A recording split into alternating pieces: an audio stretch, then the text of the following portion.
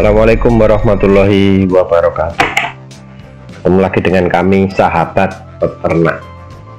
Hari ini hari Minggu Yang merupakan Hampir di periode terakhir bulan Ramadan Minggu-minggu terakhir bulan Ramadan Harga terkoreksi positif Naik di beberapa daerah di Indonesia. Setelah sempat mengalami penurunan hari ini kembali naik tidak drastis tapi cukup memberi angin segar bagi para peternak di tengah kenaikan harga ayam petelur harga pakan ayam petelur yang tidak kunjung turun. Hari ini beberapa daerah naik 200 300 bahkan ada yang naik 1500 tapi satu daerah aja kita bahas mingguan untuk Sumatera dan Jawa Barat. Di Sumatera dan Jawa Barat yang naik hanya Bandung dan Ciamis. Naik 300 dari 19.000 ke 19.300 selebihnya area Jawa Tengah ada yang naik dan ada yang turun.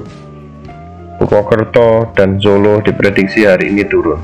Purwokerto turun 200 dan Solo turun 600 selebihnya kan Kendal naik 800 Semarang naik 500 Salatiga naik 500 dan Jogja serta Magelang mengalami kenaikan sama-sama 200 dari 19.000 ke 19.200 semua mengalami tren positif kecuali Solo. Bisa kita lihat grafik Solo.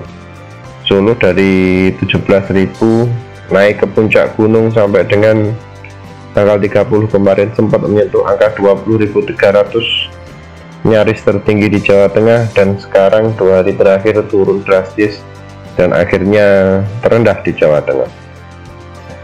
Kita kembali ke Jawa Timur. Jawa Timur bagian timur.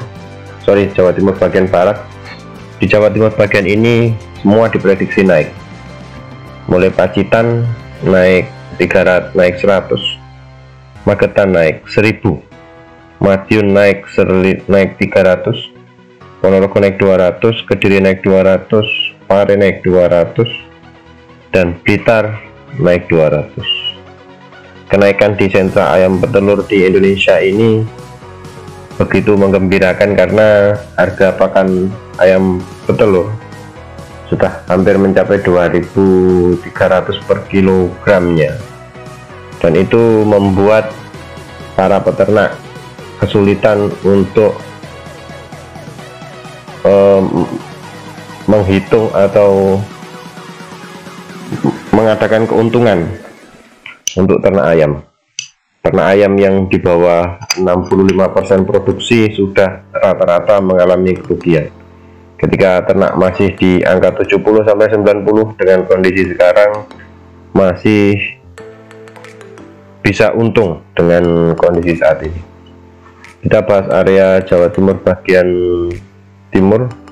Untuk area Probolinggo naik 1000 Jombang naik 800 Malang, Malang naik 800 Surabaya naik 900 Jember naik 200 dan Banyuwangi naik 500 sementara untuk Madura kembali ke harga 21.000 setelah sebelumnya di angka, angka 20.000 selama dua hari demikian update harga dari sahabat peternak Semoga informasi ini dapat membantu para peternak sekalian. Kami akhiri. Wassalamualaikum warahmatullahi wabarakatuh.